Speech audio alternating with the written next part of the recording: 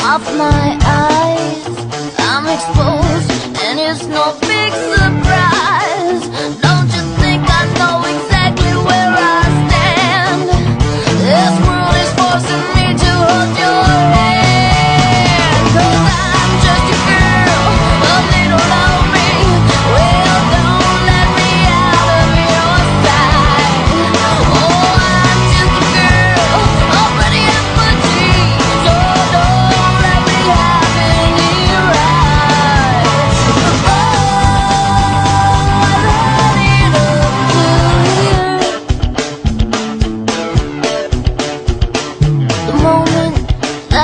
about